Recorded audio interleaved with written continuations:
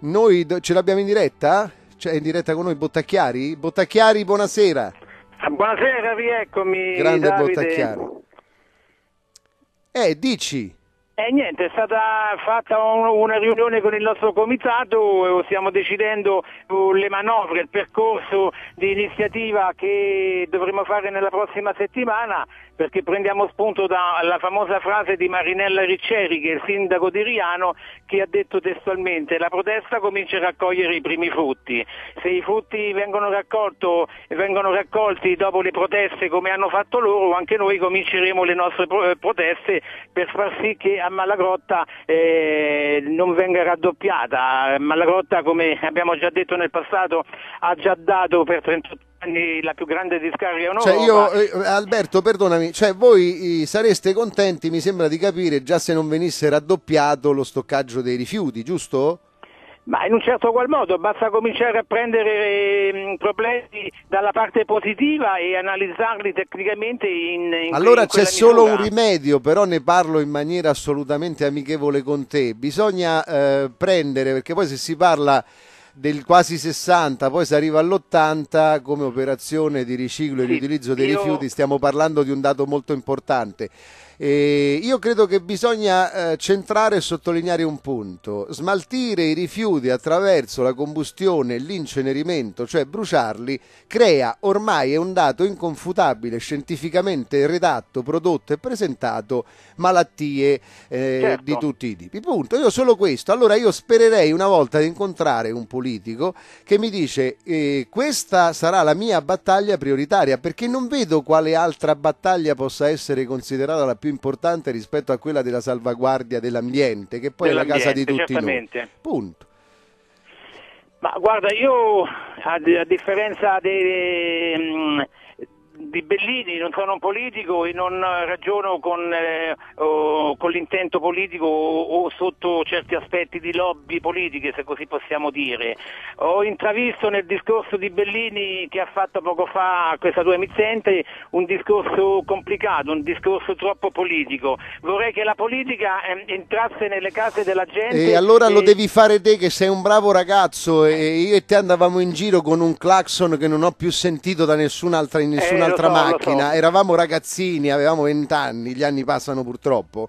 Io vedi, io mi auguro che Bellini possa trarre di questa conversazione, possa considerare gli aspetti e gli elementi eh, più importanti per continuare questo suo impegno. Il problema, lo ripeto ancora una volta a chiare note, eh, e lo dico anche di quando c'erano i miei ragazzi, ali- eh, Augusto Santori, il fratello di Fabrizio, e sapete quale affetto e considerazione mi lega a Fabrizio, ma anche ad Augusto, si muovono grandemente, si impegnano grandemente perché loro, eh, Augusto è consigliere al quindicesimo, al sedicesimo municipio. Il Sì. problema è che questo loro impegno viene sistematicamente mortificato dai vertici non del partito, ma da quelle che sono già i vertici e le segreterie romane. Paul Connet dovrebbe fare l'assessore all'ambiente al comune di Roma e ci costerebbe quanto ci costa Marco Visconti, ma con un'esperienza che è sicuramente più importante di quella di Visconti. Punto. Certo. Punto. Solo questo. Perché eh, non è, non dico una fesseria Alberto, ci sono ancora eh, inchieste in corso tra eh, familiari di persone che sono morte e che abitavano a Malagrotta. Come no? E ne conosco, e ne conosco a È decine vero o no? Gramiccioli dice una, una fesseria quando dice che alcuni, alcuni risultati del- del- delle autopsie non sono state mai consegnate ai familiari dei deceduti? No, è No, vero. no, no, è vero. E allora di che parliamo?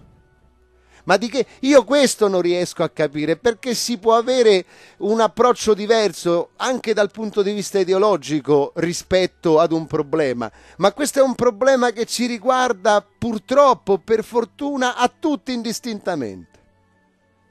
Sì. Ecco. Riano, il sindaco di Riano, perché poi il problema è Riano lo spostiamo a Civitavecchia, Civitavecchia insorge, lo spostiamo a Pavona, Pavona insorge. Certamente, in Dai. qualsiasi luogo dove si voglia mettere un inceneritore e poi si muove e si scatena la rabbia dei residenti di, di qualsiasi posto. A proposito di questo mio impegno, venni chiamato, ma allora era euro, eh, io faccio nomi e cognomi, era eurodeputato, da una persona che dal punto di vista politico non mi fece una grandissima impressione, nel senso che uno di scuderia, però umanamente ne trassi il carattere della persona per bene, ed è Nicola Zingaretti. Nicola Zingaretti disse a me piacciono queste vostre idee, però vanno previste e considerate in un, in un progetto, in un discorso a ampio raggio, a lungo termine, ma iniziamo da qualche parte. Io dico una fesseria, compravo stamattina la pasta del dentifricio e prima di arrivare alla pasta che mi serve per lavarmi i denti ho dovuto togliere il primo strato di confezione che è di plastica, il secondo che è di cartone e non possiamo più andare avanti così. Anche perché riciclare e riutilizzare i rifiuti significa creare un indotto di benessere assoluto. Certo. Questo bisogna fare e mi auguro, a, e io ovviamente la mia fiducia la ripongo nella vostra attività, nelle attività delle associazioni, quando queste, quando queste ma io ti conosco eh, e sono convinto che tu non hai nessun legame politico con chi che sia, quando queste sono assolutamente slegate dalla politica. Punto. Un abbraccio Bottacchiari. Grazie, grazie a voi tutti. Un saluto a tutti, grazie ad Alberto Bottacchiari, nuovo, grazie. grazie, grazie ancora.